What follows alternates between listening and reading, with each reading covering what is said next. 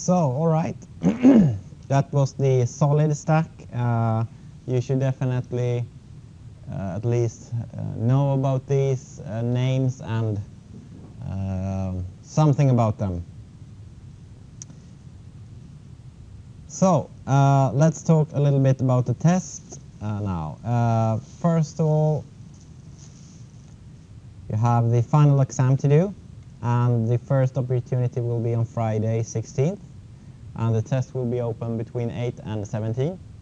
So sometime during this uh, window of opportunity you will you will do your test uh, and hopefully you will pass. If you don't pass you have another chance to do it on the Friday the 23rd. So um, study some more and you will get a new test and uh, hopefully pass it. And if you don't, well, the last last opportunity is Thursday the 29th, and uh, well, it's the same procedure. Uh, hopefully, you won't be needing uh, this opportunity at all. Uh, so that is basically the uh, the exam opportunities you have to pass the individual exam, and then you do the final grading. is done using this this matrix, where you simply plug in your passing grade for the exam, the grade you have worked for for workshop 1, 2, and 3, and you will get a final grade. And this matrix is, of course, not perfect, but uh, um, hopefully there are not any obvious errors in it at least. So if you pass the exam and go for the passing grade for all the, the um, workshops, you will get an E as uh, the final grade. And of course, if you do it for the highest uh, amount grade, you will get an A. But you can also game something here and do workshop 2 to the highest grade and workshop 1 to the highest grade and workshop 3 to, to just the, the uh, middle grade, so to speak, and get an A, still get an A. So there might, might be opportunities in here to, to uh, optimize your study situation. And also if you go for higher grades in the workshops, the uh, final deadline um, for handing those in is uh, the 13th. Uh, so my hope is that, uh, well, you, you hand in the final workshop number three also, the final submission this, this, um, this date. And hopefully we'll have a passing grade for both the workshop 1 and 2 before that, so uh, grading here will be uh, fast and smooth, I hope.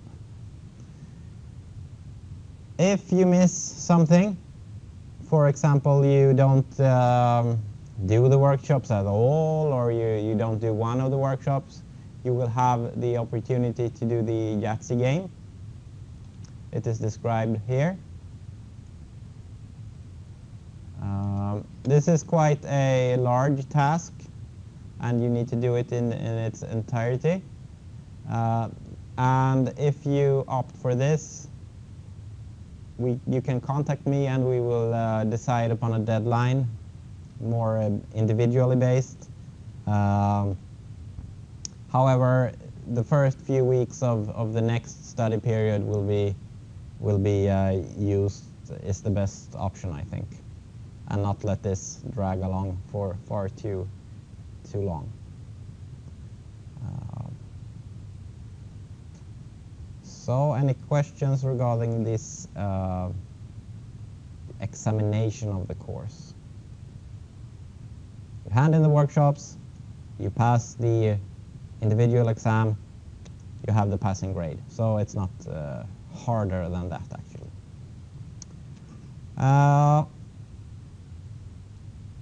So if we click to the front page here again, uh, we have the opportunity to, uh, to try out the, the testing system.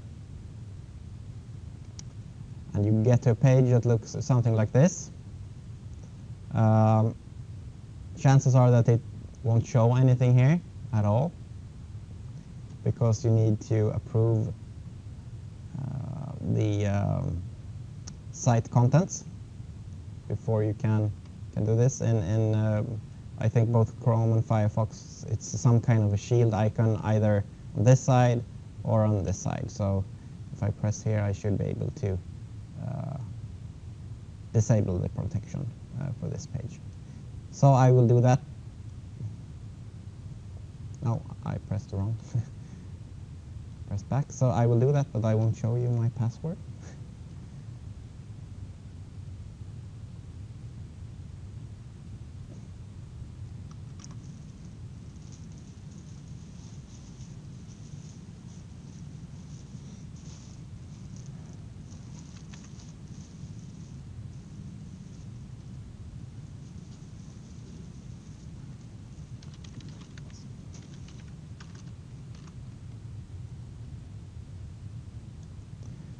And after this, you can you can click the link available, and you will um, you will come to this this page. And this is basically the the test portal where you can see the available periods, and you can see your result. And well, I haven't done any tests, so I don't see anything right now. And you have also some instructions. You can see that you are logged in as uh, your username and that you are a student. If this is not you, uh, you should uh, not continue because then you will be doing the test for someone else and that is maybe not a good thing. You will have some information here. Uh, right now you have 16 questions. Uh, that's not certainly the amount that will be on, on the real test and in this case you have 48 minutes to answer the, the test questions and this is not uh, also not the real time that will be used on the final te test. It will depend on how many questions I decide upon, really. Uh, don't forget to save your answer before moving on to the next question. You can freely navigate between the questions and remember that questions are multiple choice and have, can have zero, one or multiple alternatives uh, as correct. And this is uh, not depending on how the question is formulated because it's really messy to write questions where you kind of like write that everything can be uh, zero or, or uh, more, it just becomes messy. So think about this when you answer the question, that regardless of how it is written, it can be zero, one, or more alternatives that are correct. And to get the point, you should uh, mark all correct alternatives and none of the incorrect alternatives. When you are satisfied with your answers, you, you hand the test in for automatic correction, and you will have a limit to, to uh, get at least 12 points in this case. And if you answer something that is not correct, you will get a chance to comment it. So after you have handed in your test, you have until the uh, period, the exam period ends to uh, comment on your questions. And that can be, for example, well, I misunderstood this question. I thought it was about this and that. And uh, then I can take a look at it and I can reward you a bonus point if I, if I think the motivation was good. And after the exam period has ended, you will be able to see the answers and comments and responses that you got. So you will be able to look at your test and see, okay, I, I answered these questions correctly, and these ones were not correct. I, you can see the comments that you wrote, and you can see my reply to your comment. Uh, you will get a random test, so I have a, a database of questions, and you will get uh, some selection of these. Alternatives will also be randomized, so think about this if you do a retest even if you recognize the, the question, because you could, could have a chance to get the same question. Just don't click uh, if you remember the pattern. Read the alternatives because they can be in, in another order. So before you start, you should read this text and understand it. And when you feel ready, you click, uh, you'll just find the exam period that is open I added this one just now, so we should be able to start this. And there was some kind of error because I probably have an old test. Anyway, we can take a look at the, uh, the answers here.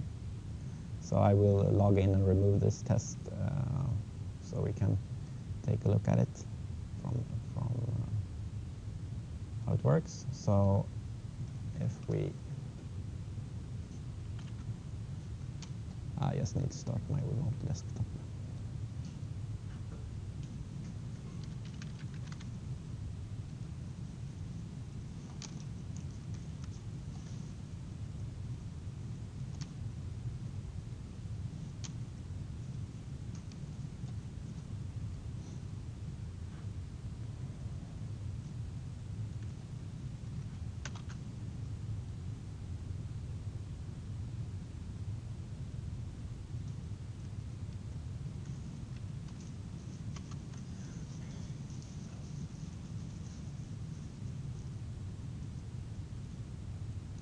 and remote desktop seems to not be able to play with me nicely today.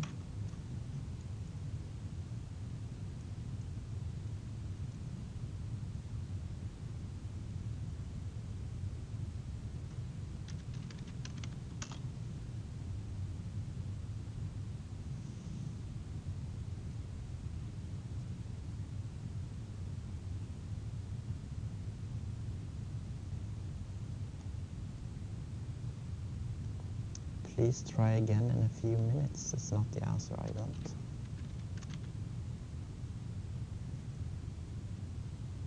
So, all right.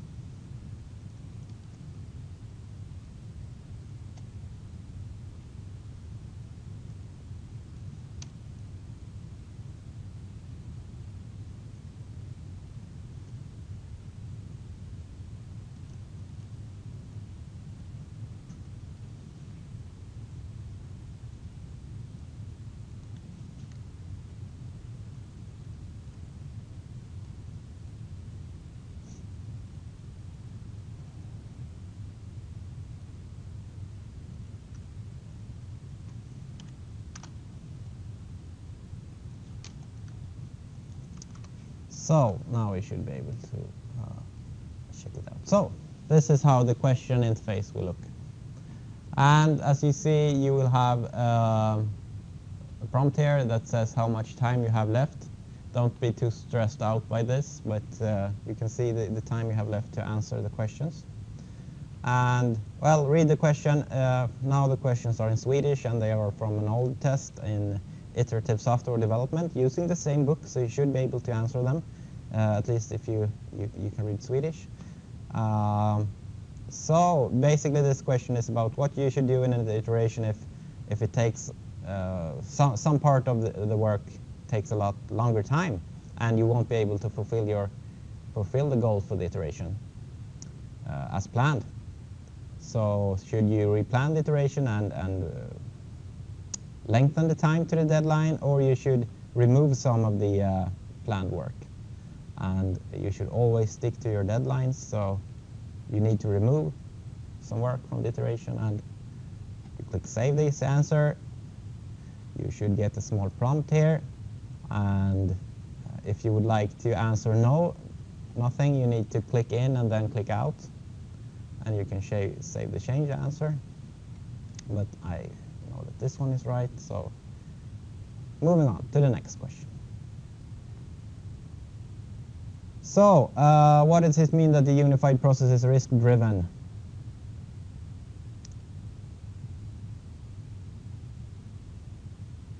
Well, it means that you're centered on the architecture and you uh, fix high-risk parts first, so save.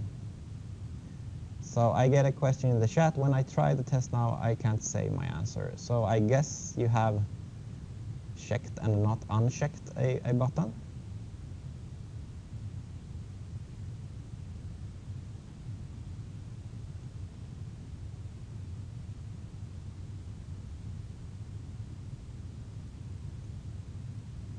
Doesn't matter what I do. You could try a different type of browser. There is a small kind of JavaScript that does this, so it could also be a, a, something that you could just disable JavaScript and, and uh, try the test without JavaScript. Then the button should not be, be uh, disabled at all. Uh, if you find some problem uh, in this and the idea is just to, to do this. There is a link on this, this page to, uh, to GitHub where you can post an issue.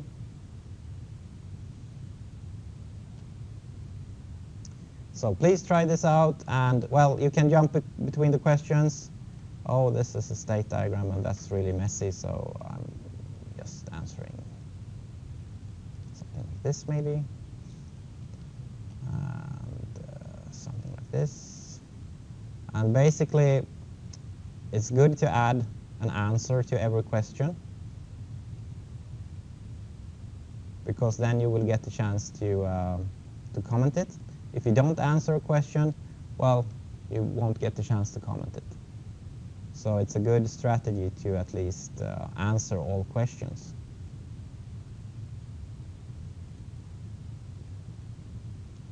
So let's do so.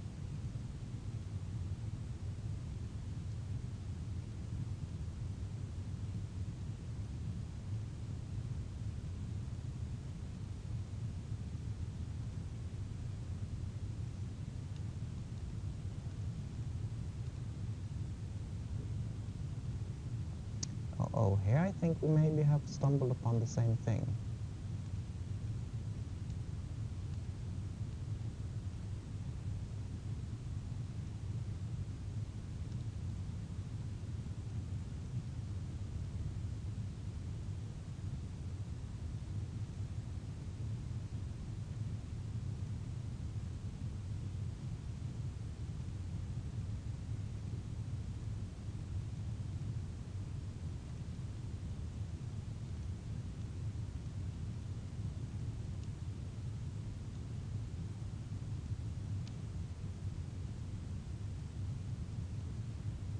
So possibly I will just remove this, this uh, fading of the bottom. As you see, this system is, well, it's quite old. So um, it does not look that nice, but uh, this one seems to be a little bit strange because this is not enabled here for some reason. So I will definitely take a look at that.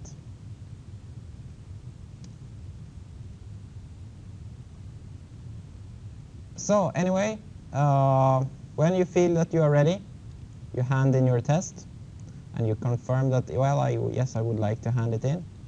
And, uh, well, I only got four score, so, so I failed here. But I can go to the comments and I can also go to the start page and, and go to the comments later. So I can take a break and go, go get a cup of coffee or, or what I would like to do and start commenting. And well, it, it basically works in the same way.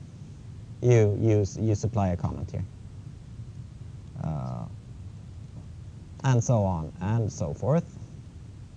And when you feel ready, well, you hand in your comments and you get the final grading. And when the exam period has ended, you can check uh, your test.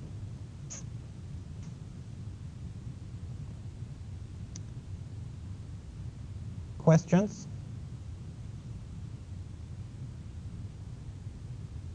So take this for a test drive. I will take a look at this uh, JavaScript uh, problem uh, that seems to happen uh, to, to, to sometimes. Those bugs are great. So uh, hopefully it will be running smoothly this uh, afternoon when the next period ends. But if you find any problems, please report them in, in uh, the GitHub repository that is linked from the page I showed you at first. I could maybe show that page also, I just need to uh, find it.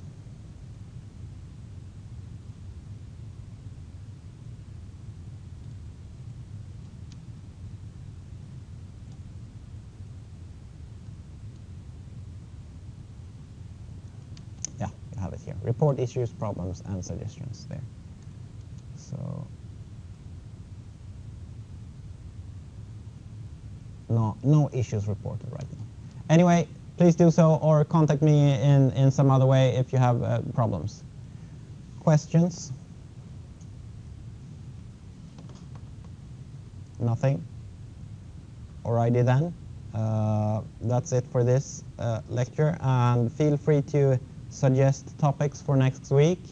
If I don't get anything, uh, we will do a repetition on, on um, the first lecture, I think it's on Tuesday, and the other opportunities will be um, questions and answers, and those will be uh, in uh, Connect only, I think. It's no idea to, to have them on, on campus in the classroom.